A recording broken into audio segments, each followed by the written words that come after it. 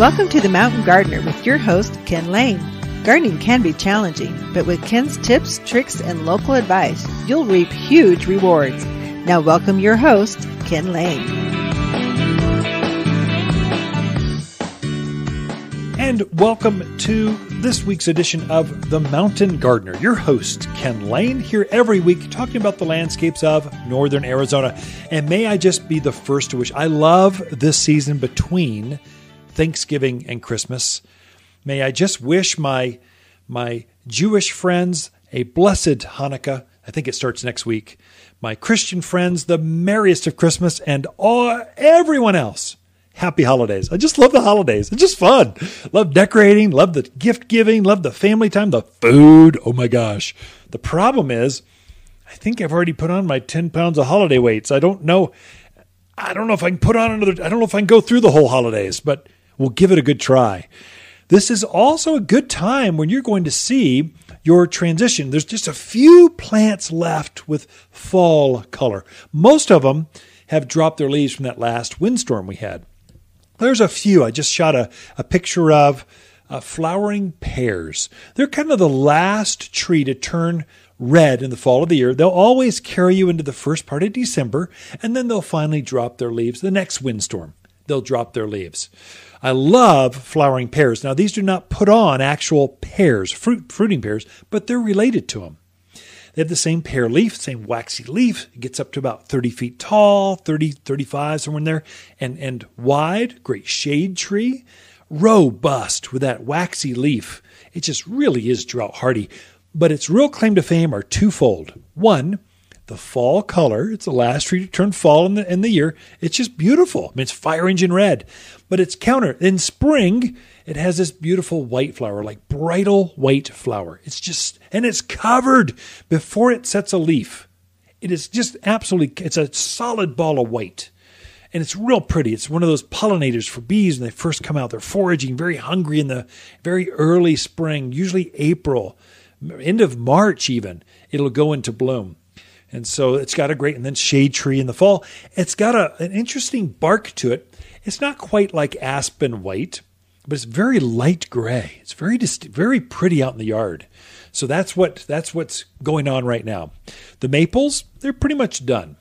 Uh, the sumacs, they've been over for two three weeks. They've been they've been naked. They've been bare or deciduous is what we call that a deciduous tree, deciduous shrub. And there's evergreen trees and shrubs. Doesn't mean they're ever they're always green. It means they always have foliage on them. So uh, some of your junipers, that last cold snap, they started to go from green to light gray or purple, or they have different hues to them.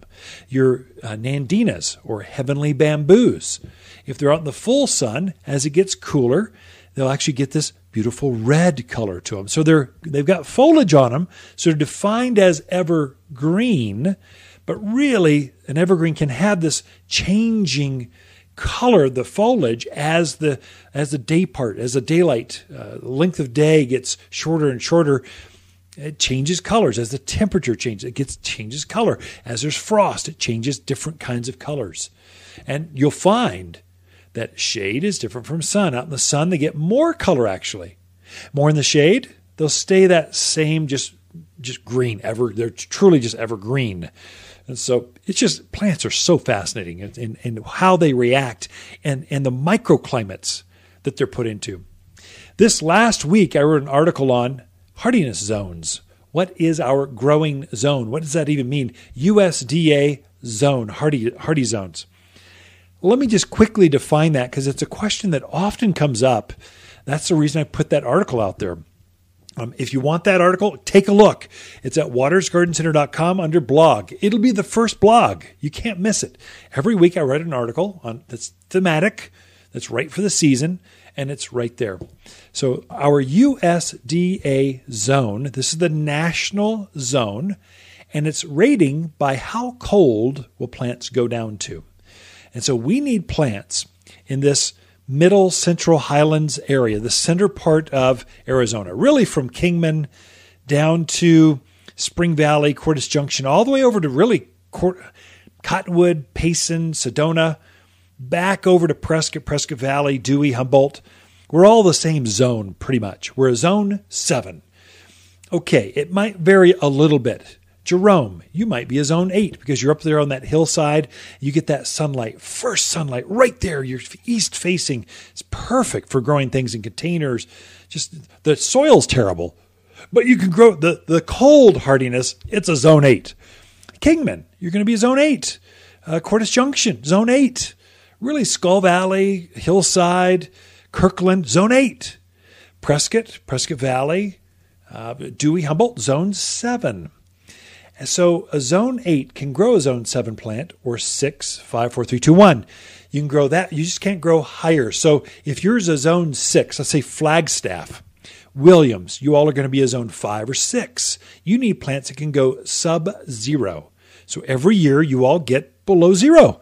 You need plants that can handle that. They've got enough antifreeze within the structure of that plant to take on that cold and go, yeah, I'm fine. No worries here and they come out in spring and go, let's bloom again. Let's let's let's put on foliage. Just put on more fruit again. You need plants that are a zone five or a four or a three two one. So you need plants that go down to minus ten degrees or lower. Uh, but not a zone seven. You can't grow zone seven up there. You need plant because they would get killed off. But in Prescott, we're a zone seven. So we can grow zone six, five, four, three, two, one. So we got more range, more variety, more options for us. The higher the number, once you get into Phoenix, that's when it gets kind of funky. Uh, down there, there's a zone 10, 11, 12s, Palm Springs. Um, there, it's it's desert plants. If you even look at those things cold, they'll die. So there, you can't grow a, a, a let's say a lilac tree or rose of Sharons or some of these more these these zone seven plants down there, it gets too hot. yeah, you can cheat it, you gardeners. I never never tell a gardener what they can or can't do. They'll always find a way. They'll create microclimates. They'll put it in the shade, put some shade cloth over it. They'll protect it. They'll make it go. But generally speaking, the Joe average guy, or if you just don't want to work that hard, you want to stick with your zone. Now, the Phoenix is going to be zone 10, really 10, 9, 8 range. Sevens, they're just going to burn up in the summer down there. But up here, we can grow all those perennials. Most of your perennials are going to be a zone five, six, or seven. That's echinaceas and gaillardias and salvias, all the exotic, beautiful grasses that we grow. We're so famous for up here. You can grow all of those up here and they'll take the cold. They might go underground like a perennial does, but it will come back fresh from the ground. And you have a whole new plant. And so most of your fruit trees are zone seven, six, five, four, somewhere in that range. These are all your apples and pears and cherries. They do wonderfully up here. They can take our cold and come right back out of it. So zones, your USDA zone, that you need to know what your zone is. And I had put a, a zip code calculator, I actually linked into the, the federal site, the USDA federal gauge. It's here, put your zip code in, it'll tell you what your zone is. If you're really in doubt, come talk to your local garden centers. We know what our zones and your neighborhood will know what your, your neighborhood's zone is. But in general, we're going to be a zone five, six, seven here in the maybe eight for those outlying areas, the, the lower elevations, 4,000 foot to 4,500, somewhere in there. You, you all are a zone eight. If we're in that 6, 5, 6,000 square foot or, uh, altitude, we're going to be a zone mm, six, seven. If you're above that, you're going to be a zone colder, so probably a zone five or six. And that's what that is. We're all pretty much the same. When that storm races across the desert and hits us, it, that, that snow and that cold dumps on all of us. In fact, interesting, where the washes are, it's actually colder. You're actually a zone colder than up on the hills, hilltops. Warm air rises, cold air sinks and almost runs like a river through the back through those dry washes. And so that's why you don't want to plant that new peach tree or apple tree next to that dry wash. You really want it up on the hillside, just out of that cold, so it doesn't get frosted when it's got that new blossom in spring or new fruits coming on. So that's zones in a nutshell. We went into depth with examples and photos and lists. Goes into if this if that's of interest, look at wattersgardencenter.com blog. It'll be right there. We have Lisa Watters Lain coming in with your garden questions right after this. You've been listening to The Mountain Gardener with Ken Lain, owner of Watters Garden Center in Prescott. Join him every week for timely garden advice right for the gardens. Visit Ken where he can be found throughout the week at Watters Garden Center in Prescott. Watters Garden companion plants for November are Vanderwolf pine, flowering pear, English ivy, and camellias. Ice Angel camellias produce amazing 3 inch rosy blossoms with petals that radiate out from the center of Camellias deserve front yard status or admired on a patio or deck. well adapted to acidic soils beneath oaks, native junipers, and maples. Loves shade gardens, containers, and raised beds. Shop in store or online at wattersgardencenter.com. We believe retirement means more time to garden and plants make you happier at Watters Garden Center. Hi, Ken here with the plants of the week and our McMinn Manzanita. Part of Watters' expanding native selection, this is the big, bold manzanita you find growing throughout Arizona. A local evergreen growing wild with the classic red bark for a styling, drought hardy landscape. Watters Garden Center, 1815 Iron Springs Road in Prescott, where people who love lots of native plants, they love to shop. You've been listening to Ken Lain, the mountain gardener. Green thumbs learned while working in the Family Garden Center. Now, welcome back to the Mountain Gardener. And we are back with Lisa Watters Lain in the studio. She comes each week with your garden questions. Just what are your neighbors talking about? What are we seeing? There's there's always a wave of customers with the same thing, same interest, same questions. And so we try to share that. That's the format for this. But first of all, let me just uh, introduce someone that's, uh, well, my hiking buddy. Lisa and I went uh, hiking up in southern Utah, Kanab area, basically. So, uh, if you follow us at all on Facebook, either either through the garden center or, or personally, you saw some great photos. So, was that inspirational? Or I love Utah, In Arizona. and there, I mean, we- we've got a houseboat in Page. So we use that. I mean, it's, it's cold up there. So we said, "Eh, we're not going to, we're not launching the runabout. We'll just stay here. We'll go up and just find different slot canyons and hike around. So we, we found, found a road that actually went up to Warm Creek. You could drive into Warm Creek. This is the other side of Wahweap and park your car and skip rocks and have lunch and It's beautiful. Absolutely beautiful. Stunning. And nobody's there this time of year. which is kind of frightening. if you break down, no one is there. Can I call AAA from uh, behind the cove? Yeah, no. The answer is no. No. We went. Uh, those that are familiar with that area, Wiregrass Canyon. It's uh, big water. Hook a right and head north, and you'll run into Wiregrass Canyon. It is spectacular. A slot Beautiful. canyon that goes from big water down to the down to Lake Powell. Spectacular. And we went up to um, a Toadstool. yes. which is I didn't like that one as much. and then you didn't? Pictures were great, but mass humanity, everyone. It was such a Oh, short hike. were- everyone could go there. There were five people there. there, there were like ten cars. Uh, okay. I like Maybe. letting the dogs go and running. They just run with us and go around. That's that's. I, I don't like keeping leashes on a national park trail, and it, I feel bottled in. And the dogs don't like it either. That's true, but that was one of the. Even there, there weren't many people. So True. if you if you desire solitude and quiet, and boy, that is the place to go. Beautiful Cottonwood hikes. Cottonwood Road is that Cottonwood right? Past Cottonwood, anyway, with Cottonwood something, Mm-hmm. past Big Water. That's our next one. There's some spectacular oyster beds, fossilized, Yeah. dinosaur tracks, slot canyons. That's where we're going. I think we should go next month. You want to go? So if you don't hear from us again, folks, Yeah. go look for us That's right. up by Lake Powell somewhere. I'm sure you can find us. anyway, garden questions. What do we got this week for? Just what are people talking about? Sure. So our first question is from Chris, and she would like to know: Can you grow kumquats in the Prescott area? And if so, do they do better on the side of a hill or on a flat land? Uh, the answer is no. there you go. You can grow them. We'll have them uh, in miniature form, dwarf varieties, but they're grown in containers. And right now, they would have died this week because the Yeah. cold storm that came in. They need. They don't like to go down past mid mid to high twenties. Are they go- citrus? they're citrus. Yeah, they're citrus. So persimmons you can grow. That's not a a Mm-hmm. a citrusy plant. It's actually a, a not even a pitted fruit. What is a persimmon? I have no know. idea. Besides delicious, it's kind of like a plum crossed with a apricot crossed with a I don't know. Now, apricots, plums, they all grow outdoors. Apples and pears, they all grow outdoors, but not orange, kumquats, limes, lemons. They have to be grown in, in containers. They brought, they're brought indoors as a house plant this time of year. So they can be done. It's just you need a little bit bigger house. You know, this is going to be a bush that's going to get three by three by three size house plant. Uh, so anyway, Yeah. or have a friend that you know down in Phoenix.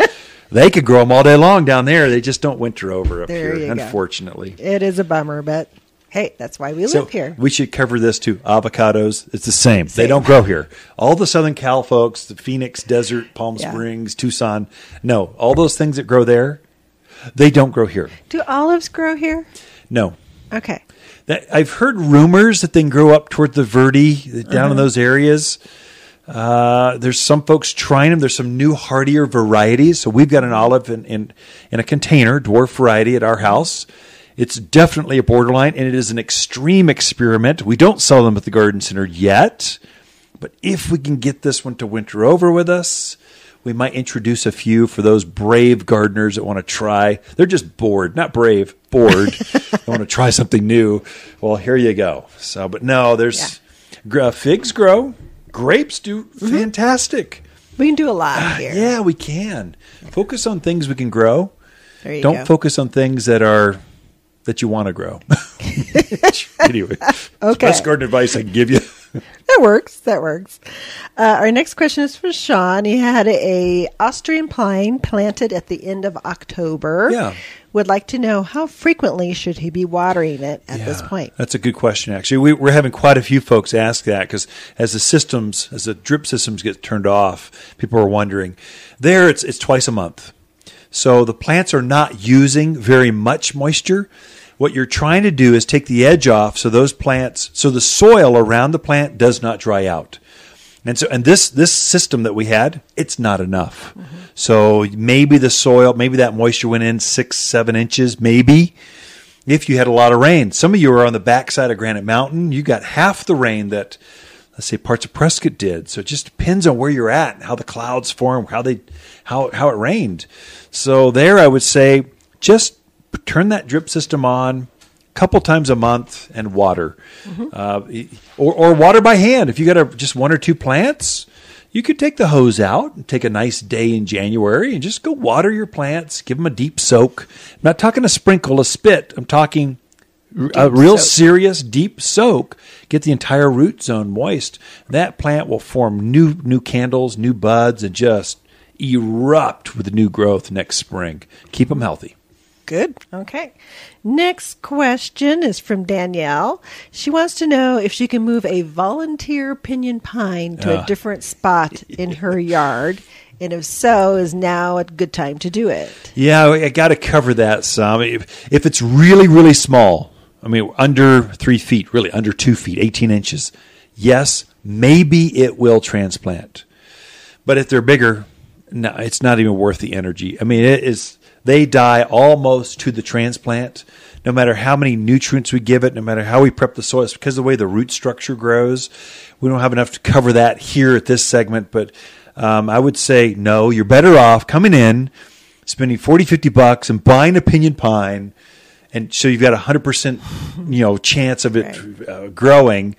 Uh, but but if you're a gardener and you're bored, try it. See what happens. It's been my experience. I've tried it dozens of times. It's just what we've seen. But if you want to try it and you got one and it's in the way, mm-hmm. go for it. Uh, come in and talk to us. We've got a, a root and grow, a, a uh, organic composted tea that is like magic for transplant shock. It'll help it form new root hairs. That's probably the best chance you're going to have for that new native plant tran mm-hmm. transplanted to a new part of the yard. Okay. Well, that's all the questions I had. Normally, we talk so much we don't get them all. Oh, I'll- I'll but hang out with you. one thing I want to say because this has happened twice this week. Yeah. we've had people dig up their lilacs who have gone dormant. Lilacs go dormant. They like to lose their leaves and go to sleep for the winter. ridiculous. Twice this week, I've I've had someone dig them up and bring them in, going, "It's dead." I'm going, "No, it's not dead." No, I would put that in the sleepy." category of stupid. No, Can I go that no, far? You cannot. It's a deciduous plant. I mean, look at your Well- neighbors. All the plants are going losing their leaves. Be Come on. nice. Okay. They're new to the area. Take a breath. New to landscaping. New to Desert dwellers getting used to the mountains. I always say, if you're not sure, take a picture. Yeah. Come in and talk to us. Call us. Yeah. We can give you advice and tell you what's right, what's wrong, what's if is it alive, is it a dead. There's ways we can help you with that, and, instead of pulling these poor little plants out by their I mean, if, hairs. if that happens, mean, you could go back and put it in the ground. It would it would Oh, yeah. Mm-hmm. totally take because it's dormant. Uh, especially if you gave it some of that root and grow, that that magic stuff I was mentioning about the pinyon pine. It'll help it reroot. It's just you're starting over. You're starting. You lost those root hairs that were forming. So So now you got to start over. It's like you're starting from scratch. And so, Mm-hmm. ah, come talk to a professional before you search Google, figure out what you should do. Talk to someone local, a neighbor. Here's someone that's got a no gardens out there. Okay, Ken and Lisa Lain and the Mountain Gardeners. We will be right back. You're listening to Ken Lain, aka the Mountain Gardener. Ken can be found throughout the week in Prescott at Watters Garden Center. Listen each week as he answers timely garden questions unique to mountain gardens. Watters Garden companion plants for November are flowering pear, English ivy, camellias, and Vanderwolf pine. Vanderwolf is related to Arizona pines with fluffy foliage, It's remarkably resilient in dry Arizona soils. makes a graceful specimen in yards or expansive estate landscapes. This distinctive pine has long, twisted, silver blue needles covering the dense branches. Carefree and easy to grow. Shop by store or online at wattersgardencenter.com. We believe you're braver than you believe, stronger than you seem, and smarter than you think at Watters Garden Center. Trees prefer a locally delicious plant food, and the really big trees prefer you get it from Watters Garden Center. Your plant luck changes the moment you step through the doors. You can actually feel it happening. Time slows down, your neck muscles relax, and the radio plays better music. It may look like we sell trees and shrubs, but what we really sell is the perfect day. Watters Garden Center, here in Prescott, the place where people who love to garden, they love to shop. You've been listening to The Mountain Gardener with local expert Ken Lain. Join the conversation every week as he answers timely garden questions. Email Ken a question directly from your phone to his desktop through the web at wattersgardencenter.com. That's Watters with two T's, gardencenter.com. Now, welcome back your host, Ken Lain. So the yard can look a little messy right now with all those leaves. It's rolling around, kind of blowing into corners. Um, how important is it to rake up all those leaves or needles as far as that goes? If you you folks up in that, you know, the Timber Ridge, Highland Pines, up in those those those pine forests, you know, the pine trees drop a lot of needles right now. So everything's going into their winter mode. And so how much is is too much is really, really the question. So if you've got lawns or flower beds or vegetable gardens, um, you really don't want those leaves to settle on top of that lawn. Like I've got a thyme lawn, like creeping thyme, and leaves. I've got a maple right on top of it, and leaves have dropped. And I'm trying to keep those leaves sort of raked up. I'm, I just want sunlight to get down to the foliage of my creeping thyme. Otherwise, if it stays under under that layer for more than a week or two, you'll start to get rotting or it will start to go subterranean. That that thyme will go underground because it can't see the sunlight. Molds start to happen, so it gets too wet, too stays too moist underneath the leaves. It creates kind of this shell or this this top dressing that is okay for a little bit, but you really don't want it to stay on there. So it is important to rake leaves up, to rake needles up. The way that junipers and pine trees operate, this is purely defense. They know that there are limited resources in the forest. And so what they'll do is they'll shed their needles or their their conifers. So they've got a needle to them, whether it's a juniper, Arizona cypress, deodar cedar, pine tree, whatever it is, it's shedding. So underneath, directly underneath the foliage, you'll see this leaf litter or pine uh, straw, as what it's defined as pine mulch. And so it's it's looking to bury everything underneath it. Literally, it'll try to shed as many as it can to bury so no plant would dare want to set a seed and start to grow underneath this. Not only that, but some plants, like your, your native alligator junipers, uh, they actually taint the soil. They put uh, poisons in it, so nothing can grow except it. It likes the it likes this kind of soil, but nothing else does. And so you won't find a lot of different kinds of plants growing underneath these plants. Well, that's fine if it's out in the forest. But if it's in your own backyard and you've got a piece of art underneath that and you're trying to downlight it and uplight it and have, have gardens underneath, you need to clean up some of these pine needles. Then, so many of us tuned in. This this broadcast range goes from the wildland interface and, and, and the wildfire interfaces. So we've got a lot of this interaction with the forests that are out there, and we need to think in terms of defense. How do I protect my home from fire, from animals, from different things that are in the forest? And fire is one of those big things that we need to think about. Not everyone here cares about that. I understand. You don't have that worry about pine, uh, that, that wildfire getting up in the canopies of the pinyon pines, the ponderosas, and it just rages through neighborhoods. Everything is vaporized before their eyes. I mean, just it's dangerous. Uh, you, you need to think in terms of how can I keep that fire from, how can I help the firefighters fight this fire through my yard? And what pine needles do, they're kind of like a, a, a they're like a matchstick. They're like a fuse. And so if we can keep that fire down on the ground and easy to maintain, the firefighters can fight that all day long. The second it jumps up into the canopies, it's just run. You, there's no saving anything. Just get out of there because it's way too dangerous. And then the wind gets to it and it just carries it quickly, like the speed of wind. That's how fast it can travel. But if we can keep that fire on the ground with simple pruning, uh, keeping the you you folks in those areas. I'm not going into that's not for this show. Got a whole lesson on just how to prevent wildfires, uh, how to mitigate that with landscaping. But the pine needles, a few are good, but if you've got more than let's say three or four inches of pine needles, it's getting dangerous. Now, all of a sudden, there's fuel there for it to burn through. So you want to clean that up, rake some of it up. Uh, don't don't rake all of it up because now your pine trees become dry. They're exposed to sunburning, uh, drying out the soils. Weeds can now compete. So help that plant compete to, to prevent weeds from growing, to keep the ground moist, to keep the sun off that off the root zones, so the plant be- remains healthy. But remove most of it, except for, for about again the book says about four inches or less. Uh, but take most of those needles out so that burning, that, that smoldering fire can't creep across the ground and then ignite other things in the yard. Pine needles, they're good. Leaves, they're good. They're good mulch. Chew them up. I, I send mine all through the, the lawnmower.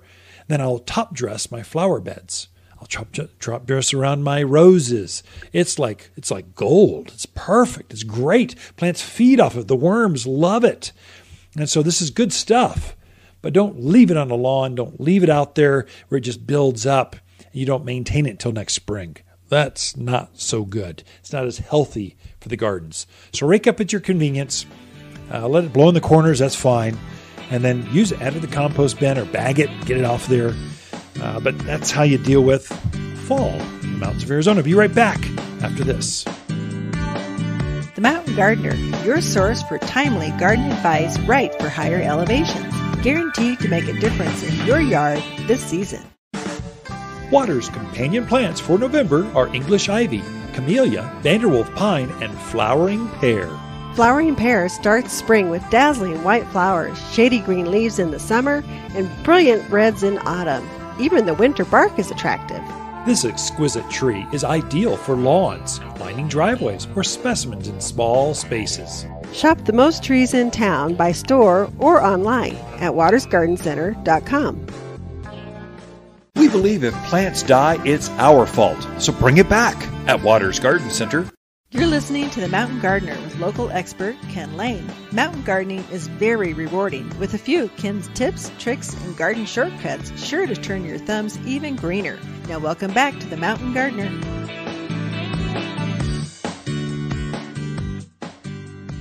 Back in the studio is Lisa Watters Lain. She comes each week and just shares her garden insight, her thoughts, what what has she been meditating on throughout the week Deep thoughts. that can that we can share over the airwaves that is uniquely from your perspective. Mhm. And so gardeners, you talk to any gardener, they've got 10 different ways, thoughts at any given time on gardening. Oh, yeah. And so so just so the show isn't boring, just me droning on and on about local gardens. Well, Lisa comes in and makes us, well, you make the airwaves sound better. oh, thank you, dear. Yeah. Yeah. So what do you got for us this week? Well, you were talking about meditating. I've really been working hard this whole week to be thankful. Oh, your Thanksgiving was great. Track Yeah. of things that I'm thankful Yeah. for. Sure. And so that's kind of been nice. So Yeah. what are you thankful for? I'm thankful for you.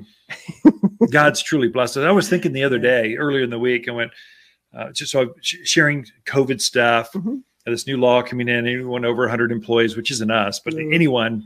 I've got friends that do have Yeah. a lot of employees and going, well, this mandates and this kind of stuff. I'm going, you know, we haven't had one case of COVID here in the garden center, in the staff, Mhm. anywhere. I mean, a year and a half, not one case. I mean, I know comp- I've got friends that had went through the entire staff, throughout the everyone in the company. It's crazy. Mhm. Your sister just got it. She was vaccinated. The whole she's a hygienist. The whole hygienist office got it. it was, we are so blessed. I'm Oh, thankful yeah. for that. That Mhm. I think God's looking after us more than we could possibly know Mhm. and we do all we think we do all these things ourselves we're so safe we sanitize everything everything's spaced out we're remodeled the whole store but really it's, you can only do so much and then then kind of your guardian angel or providential things happening that look after you i think that's the case but Mhm. Anyway i'm thankful for dinner thursday out of your sister's place in Right. chino valley we didn't have to host they did we just brought a fruit cook. salad so that was, that was so easy Yeah. so that is true. So lots of things to be thankful Yeah. for this year. Yeah. As we move into the holiday season. the So holiday season I know we're going to start playing Christmas da, music. da.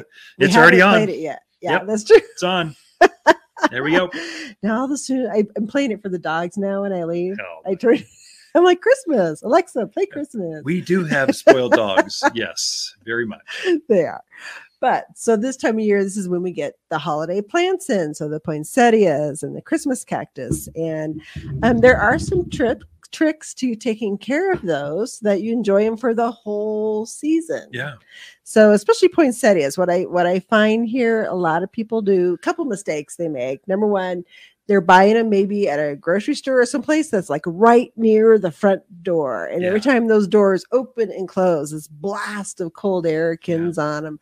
And they don't like that. They're believe it or tropical plants. Yeah. They're used to humid, moist, warm air. Mhm. Yeah. They really don't like that. Another thing, a mistake a lot of people make, they're coming from the valley or California.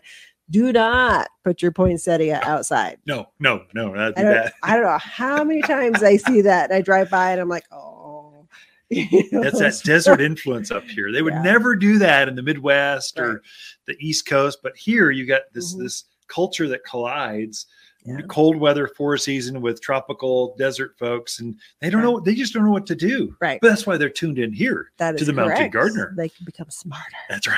So yeah, don't put it outside. Don't put it in an area. Don't put poinsettias in areas where they're getting a lot of cold Drafty. on them. So if you're like a front door that you go in and out of a lot, would not be a good spot. The other one is like under a heater vent, so that the hot air is blowing on Sure. them. They don't like that either. So put them in a spot where temperatures are just kind of mild and even. Yeah. Um, you know, and then the other thing with them is they like moisture, but they don't like to be wet. Soggy wet. The roots. They don't right. like the roots to be Mhm. consistent moist but not soggy. Right. So so not a drainage.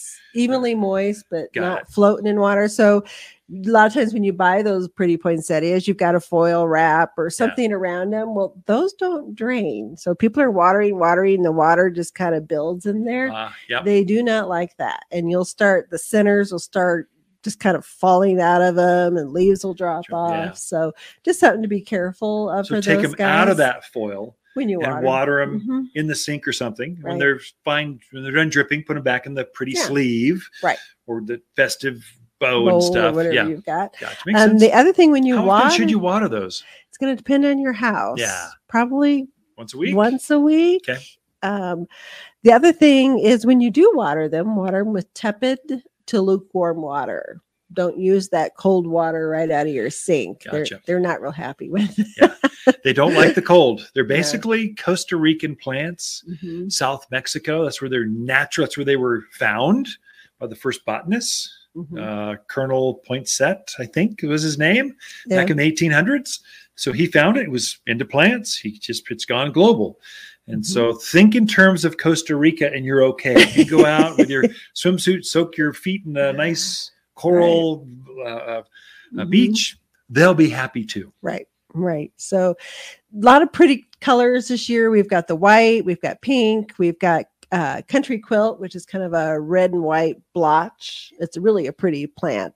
And then an ice one, which is kind of a red, white, variegated. It's just really That's pretty. Wow, Yeah. that's unusual. So some nice ones. So they're in year. now. So you've got them Mhm. right there on the floor. We got them. and and the we'll have red through the season, but those some of those unusual, different, you can't find them anywhere. Those go fast. Those will go faster. Once you're out, you can't get more. Of the crop is Right. just gone. Yeah. Right. So, yeah, get in early and shop early and enjoy your plants through the holidays. The other one is the Christmas cactus. So, that's another one people love to give as gifts or they're buying one for themselves because, you know, great grandma Betty had one and they want to start the tradition. And they're getting those come. We have a lot of different colors of those, some really pretty striking ones, uh, red and white variegated, some really pretty pinks and oranges and greens and whites Wow. uh, all different colors on those. So definitely come in and check those out because those do go really fast. Um, but there again, they don't, even though they Christmas cactus, they're not really a true cactus. Um, don't put it outside. No. Uh, don't put it in a hot window where the heat's going to come in on it and burn it. And the other thing with those, if you keep them too wet, they will drop every blossom they have.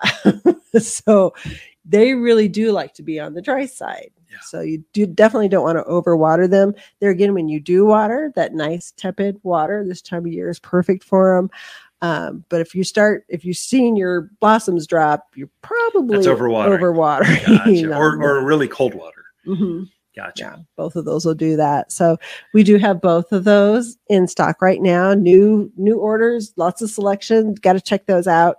Um, a lot of people will bring in herbs, um, you know, to decorate with or they're cooking with through the holidays. Like lavenders and rosemary. Lavenders, Oh, rosemaries, oregano's. Thyme. A lot of times you see them in the little tree form. Yeah. You know, where they've kind of topiaried them, made little trees out of them, which is kind of fun. It's a great thing to do, great way to, to, to decorate. Um, but those guys don't overwater. People love to water things inside their house, I've noticed. So you just have to be really careful that you're not keeping So again, what? wet. Once a week, once every Maybe once a rosemary's once every week. 10, 14 days. Kind of depend. What you what you have now is the the heater is on. Right. So the heater like dries the air out inside your house, warms it up, Mhm. but it dries it out. So if it's in a drafty area where it's getting a lot of blowing, it can dry out faster. Just Mhm. you'll see pockets. You're it's a different watering Right. this time of year just because the windows have closed up and Right. the heater's going like crazy. And so Mhm. that dries plants out differently than let's say it would in spring or, you know the best summer. way to handle that? No. Get a moisture meter. Yeah, well there we go. That's a good stocking stuffer for for gardener. moisture meters take the aggravation out of so Yeah. many things and the guesswork because things can look really dry on top and then you stick that moisture meter in there it's like whoa wet wet wet so it can be very it can fool you so moisture meter just takes the guess out and you don't have I think it puts the joy in all for fourteen ninety nine. it's just they don't cost very much for no, they're very no more guesstimates. It's just very great. True, very true.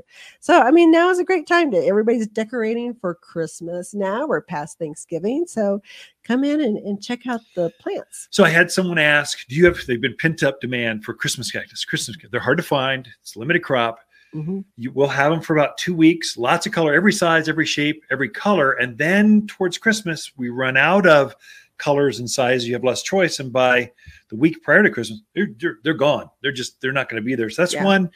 The the weird colors, grab them. The Right. interesting, different, new, grab them early. Mhm. Don't wait until "Oh, I'm going to go shopping later, and I'll come in and get one later. They won't be here. So anyway, thank you, Lisa. Great. The the uh, Christmas how to take care of the holiday plants in your yard, in your house, not yard, in your house. Ken and Lisa Lain, the Mountain Gardeners. Be right back after this. Look for more tips, tricks, and garden shortcuts through Ken's website. Podcast the show, read his weekly garden column, or follow him on Facebook and Instagram at wattersgardencenter.com. That's Watters with two T's, gardencenter.com. I used to be cocky and actually dared to beat the big boxes at their own game. Since the beginning, we were known for the very best plants in town. But with youthful ambition, we added a line of inferior plants, contractor grade, that matched the box stores and beat their prices. We failed miserably. The plants were side by side. Watters hand picked quality at the higher price, and the inferior plants at the lower price with astounding results.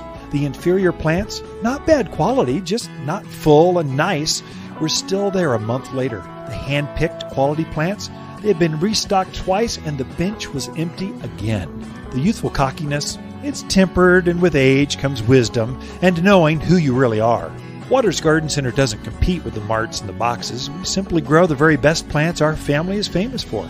We will never offer inferior plants. Cross my heart. Pinky swear.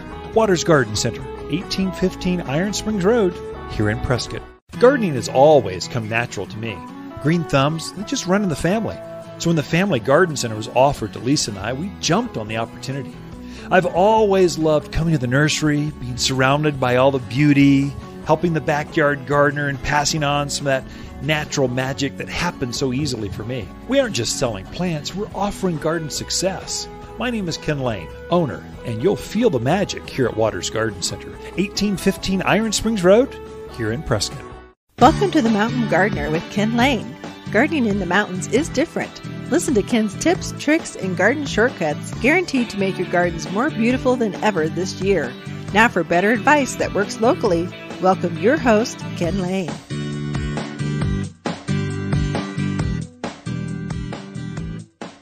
And we are back. You are tuned into the Mountain Gardener, your host, Ken Lain. But the beauty of having a studio right here in your own garden center, you're connected with gardeners. You know the trend, you know what people are asking, which is great.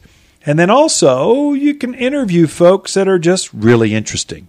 And one of the most interesting gals I know uh, in my world is Amy Langley. She's you. actually uh, one of our managers here. But the reason Amy is so interesting, she's our color trend pottery consultant.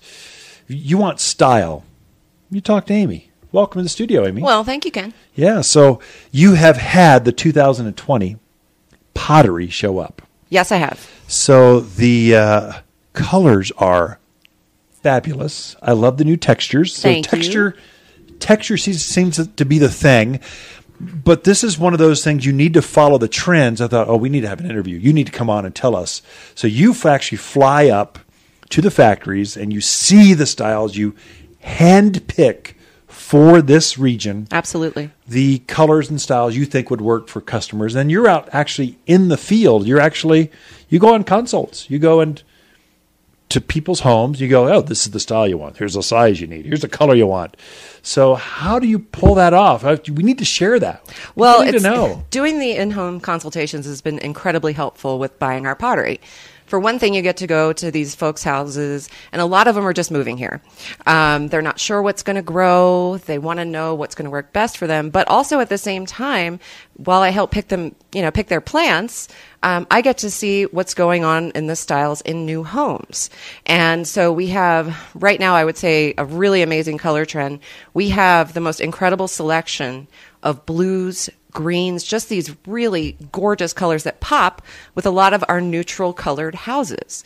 And a lot of the new homes, the, the builds are so different. So there's all different kinds of spaces that people have nowadays. They have short posts, they have tall walls, they have all different shapes and sizes of things they want to perk up, basically. I mean, a lot of, let's face it, a lot of our new homes are beige.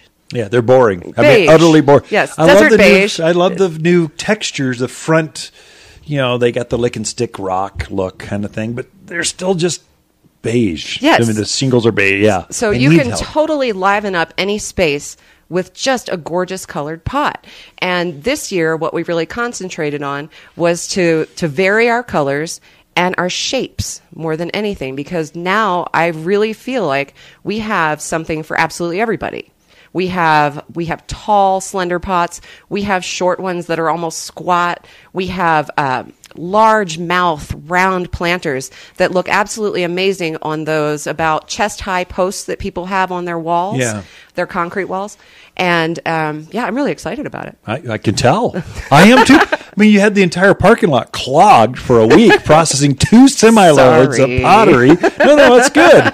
But I came out and I said, you know, Amy, you know, Christmas trees are coming like Tuesday. Yes, I know. All this I'm- stuff I'm well be out of here. Get it out of here. I'm well aware. so it's kind of the pressure's on. The seasonality is changing, but. I, I was helping a customer. He had a big pottery order. Uh, I was trying to match some colors and doing the style thing. And he goes, "Well, I need a couple pairs that match. You know, maybe I should wait till spring." I'm going, listen, Bob, don't wait. Here you can get now. You've got matching pairs. You, you've got the best selection. If you wait until spring, this is the pottery that will carry us through spring.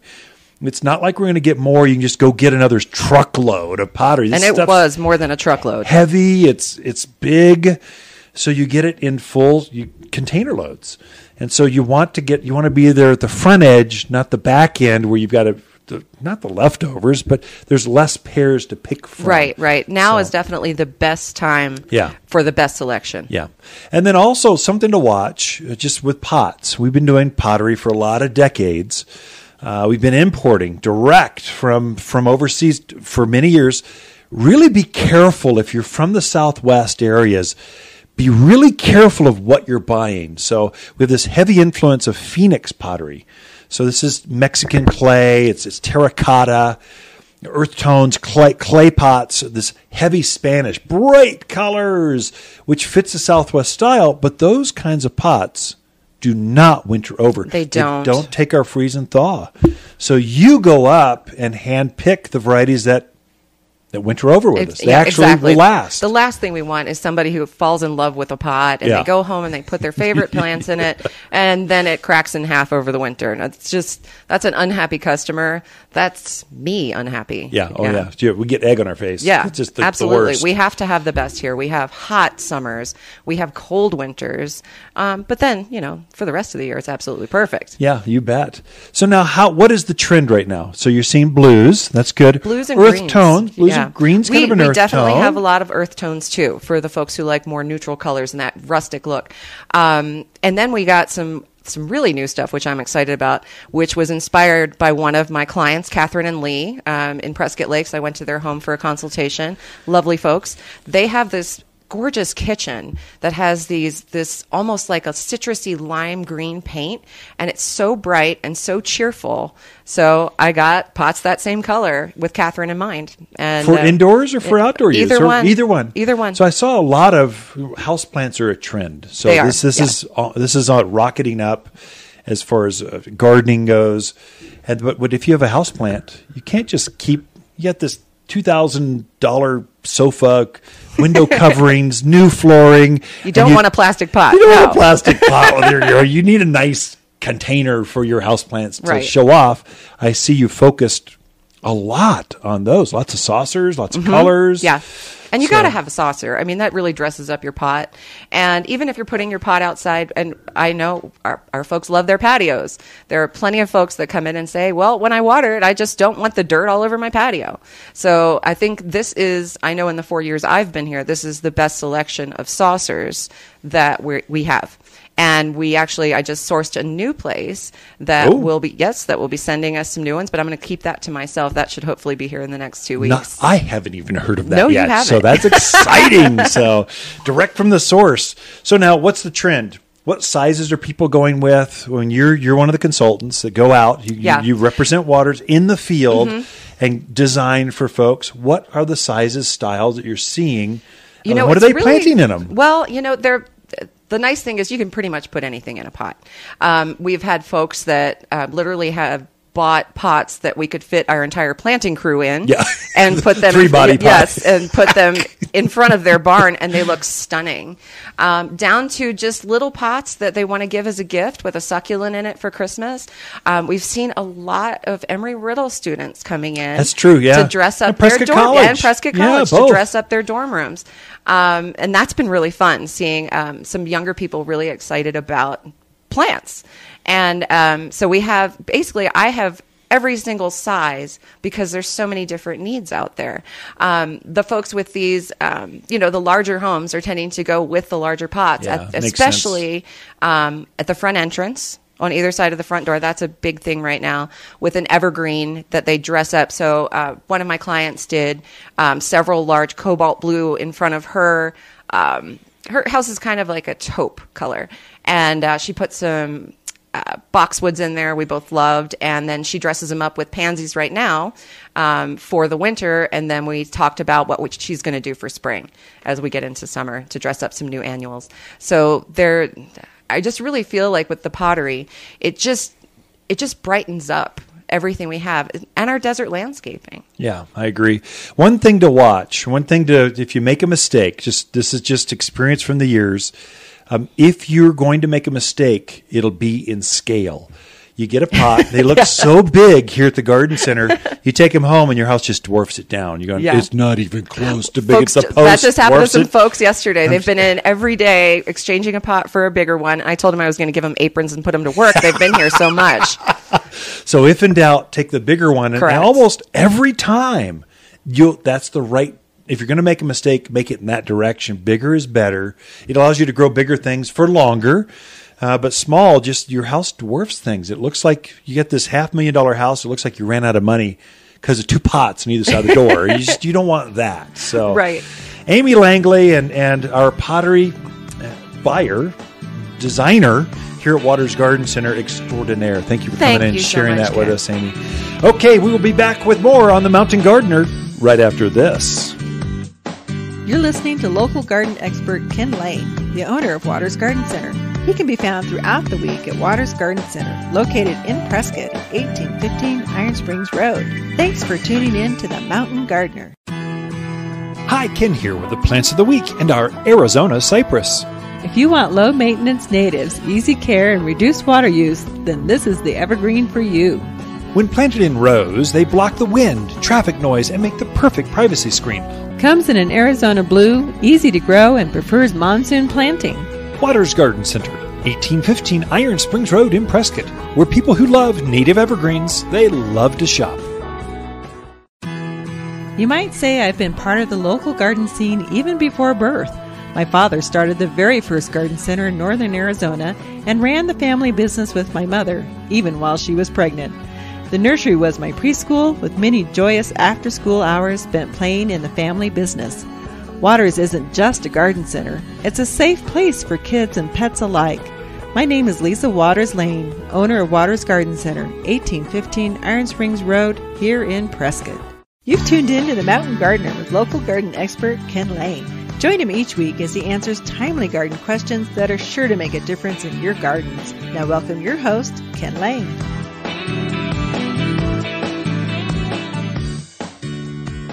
Well, I sure hope that you had a, a pleasant, safe Thanksgiving. That your holidays will be to come will be just blessed. Will just be fun. Decorations are going up. I just love this time of year driving through neighborhoods. Uh, we're putting ours up this weekend, so the out, outside and the inside. Probably not the Christmas tree.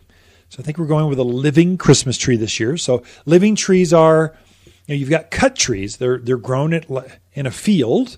They're cut. The roots they're cut severed from the roots. They're brought in. You you put them on a, a tree stand. You decorate them, and they're dropping needles like crazy by the end of end of the holidays. By by by New Year's. Hopefully they make it past Christmas.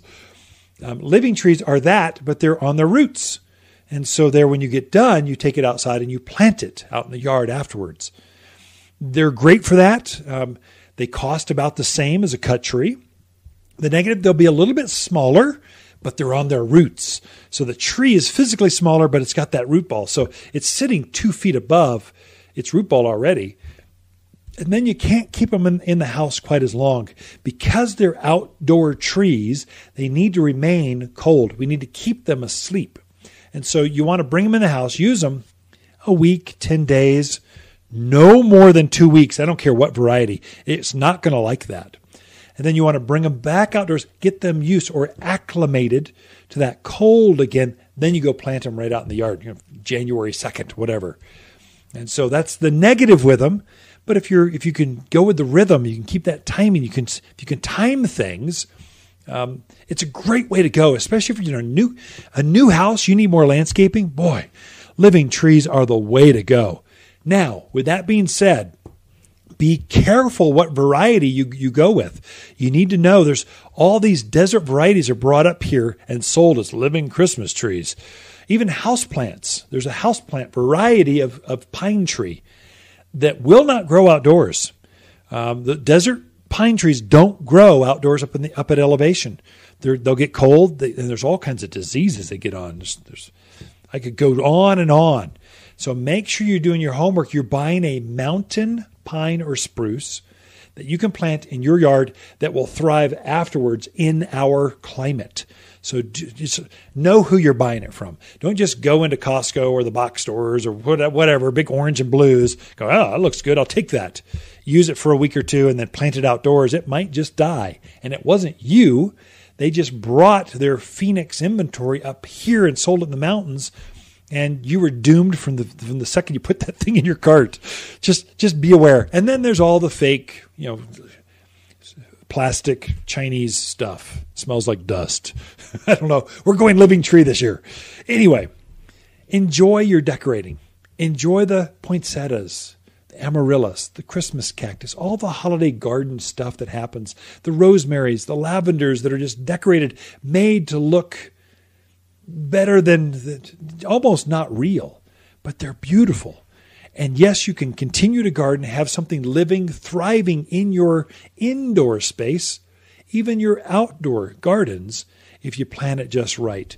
And we're here to help. I mean, Lisa and I, we camp out here.